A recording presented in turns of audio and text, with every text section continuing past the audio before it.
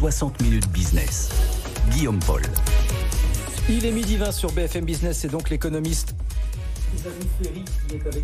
Bonjour. bonjour, merci beaucoup euh, d'être avec nous sur, euh, sur BFM Business. Vous avez signé une note publiée, c'était le 18 août dernier, par le Peterson Institute for International Economics, dont le titre est le suivant La politique pour le climat est une politique macroéconomique et ses implications seront fortes. Vous nous dites en substance que peut-être n'avons-nous pas pris euh, la mesure de l'ampleur de cette réforme par son coût et peut-être par ses retours sur investissement qu'elle va générer finalement. Est-ce qu'on a mesuré l'ampleur de ce qui nous attend finalement euh, Oui, c'est un peu les deux. Hein. C'est-à-dire que je euh, crois pour l'avenir, on a de plus en plus de raisons d'être optimiste. C'est-à-dire que euh, il y a quelques années, il y a une dizaine d'années, on était très inquiets. Les, les, les, coûts de la transition paraissaient énormes en termes de, de technologie, en termes d'efficacité de, de, ces technologies. Bon, on voit que, par exemple, le, prix des renouvelables s'effondre, les prix des batteries s'effondrent. Donc, le progrès technique, une fois qu'on l'a mis sur la, la voie, euh, on a, la machine à innovation se lance, elle produit des résultats. Donc ça, c'est le côté optimiste. Mhm. Alors ça va pas tout couvrir, hein. c'est pas c'est pas ça qui va faire que euh, nos habitudes alimentaires vont pouvoir rester exactement les mêmes. Hein. C'est pas la, technologie ne peut pas grand chose au fait que la consommation de viande, c'est euh, très générateur de, gaz à effet de serre. Donc il y aura des adaptations euh, des, des comportements. Mais pour toute une partie, on voit se dessiner un nouveau progrès technique très favorable. En même temps, ce qui s'est passé, c'est qu'en fait, on sait que cette affaire nous menace depuis longtemps, hein, depuis au minimum depuis les années 90, euh, en fait euh, avant, et on n'a pas fait grand-chose. Et tout à coup maintenant, on se dit, il faut accélérer. Il faut aller beaucoup, beaucoup plus vite. Hein. Vous prenez ce que l'Union européenne a fait de 1990 euh, à aujourd'hui, euh, pour elle a baissé ses émissions de 25%, en partie avec les pays de l'Est euh, qui étaient très très inefficaces, en partie parce qu'elle a, elle a en fait délocalisé des productions intensives en carbone. Donc en fait, elle a vraiment pas fait grand-chose. Bon, il va falloir faire la même chose, même un peu plus, en 10 ans au lieu de le faire en 30 ans et pour de vrai, au lieu de le faire en partie par des artifices. Et Donc ça, ça veut dire une accélération qu'on mesure pas mesure pas l'ampleur de cette accélération. Et ça veut dire, parce que justement on a traîné, on a procrastiné, ça veut dire que on va devoir euh, mettre de côté toute une partie de nos équipements, de notre stock de capital, etc. Et vous dites, voilà, c'est ça, c'est ça, Obsolescence accélérée des équipements et du, capital, et donc investir seulement, uniquement pour espérer maintenir le même niveau de production, finalement. C'est ça. Oui. Ben, regardez, prenez, moi je prends l'exemple des constructeurs automobiles. Oui. oui. Euh, ah, Audi a annoncé qu'ils euh, mettaient en, vente leur dernier volume, leur dernier euh, véhicule, thermique euh, en 2025, car ils arrêtaient complètement de vendre des véhicules thermiques en 2032. Ben, c'est demain. Ça veut dire que mhm. tout ce qui est toute la filière thermique qui travaille pour Audi, elle est, elle est morte quasiment dès aujourd'hui. Hein. on va pas faire un seul investissement. On va pas faire une seule recherche. Bon. Euh, donc c'est ça l'accélération, si vous voulez. Et donc il va falloir effectivement que euh, on investisse plus pour l'électrique, oui.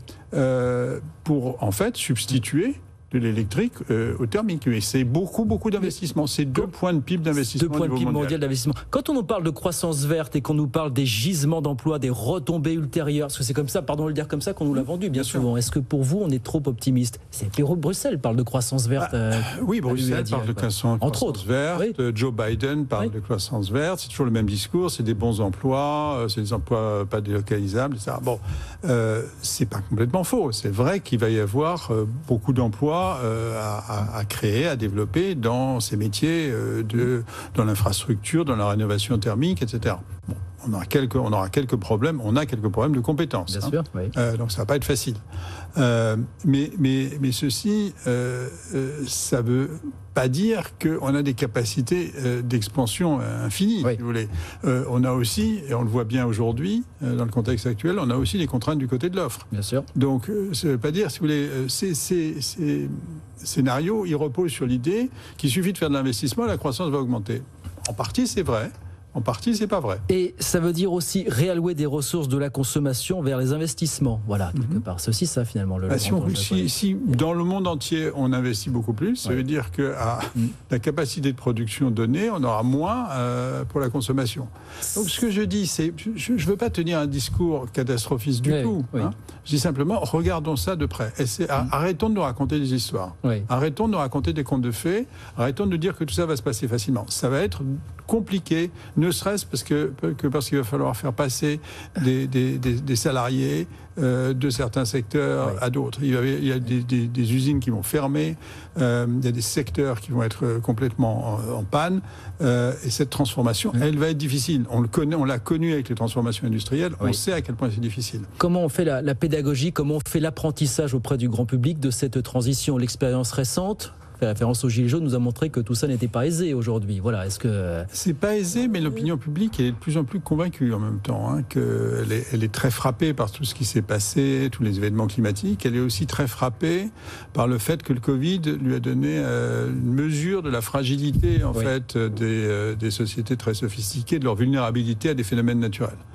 Et donc je pense qu'on est dans un contexte dans lequel on peut, euh, à condition de tenir aussi un discours de vérité, à condition d'organiser les choses, à condition d'avoir des politiques d'accompagnement, euh, on, peut prendre les choses de front euh, un peu plus. Alors, sur les gilets jaunes... La, taxe carbone, oui, les gilets jaunes hier ou la taxe carbone aux frontières de l'Europe demain, finalement. On est oui, mais alors, les gilets jaunes, vous savez, je vais regarder.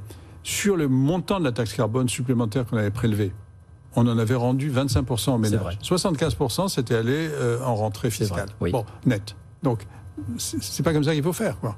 On, le sait maintenant. C'est-à-dire, on sait qu'il faut redistribuer. C'est-à-dire que si on augmente le prix, et je pense, comme économiste, tous les économistes pensent qu'il faut aussi jouer sur les prix. Alors certains pensent qu'il faut uniquement jouer sur les prix. Je pense pas ça. Je pense que la réglementation, je pense que les incitations, je pense que les financements, tout ça, ça compte. Mm. Mais à la fin, on est quand même des, individus rationnels. Si c'est moins cher de faire d'une certaine manière que de faire d'une autre, eh ben on a tendance à aller vers ce qui est moins cher. Donc il faut quand même que ça se reflète dans les prix. Cet avertissement que vous lancez, alors ça s'adresse à tout le monde et à personne. La transition énergétique est, la même pour beaucoup de, pays développés ou, ou autres.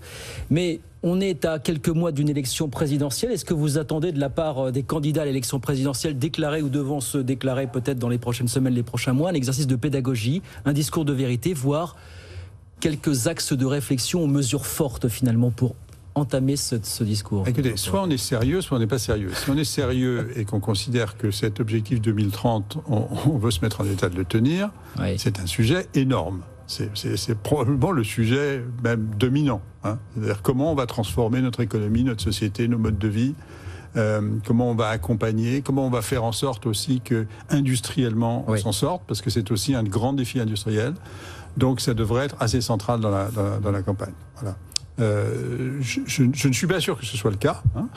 Euh, je le souhaite vivement. C'est un enjeu de pédagogie, c'est un enjeu de formation, de reconversion. C'est un enjeu de pédagogie, c'est un enjeu de, de, programmation, c'est un enjeu de, mise en place des instruments, c'est un enjeu d'effort collectif. Hein.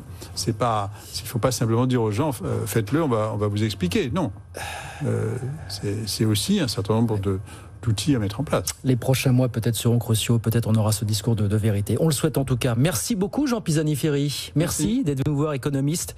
Et donc auteur de cette euh, note publiée euh, en août dernier par le Peterson Institute for International Economics.